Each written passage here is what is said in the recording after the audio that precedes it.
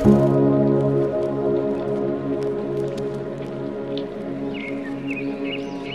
day, between the afternoon and the beautiful night, there was a wide view of rice fields, children playing with kites, waiting for the wind to fly their kites.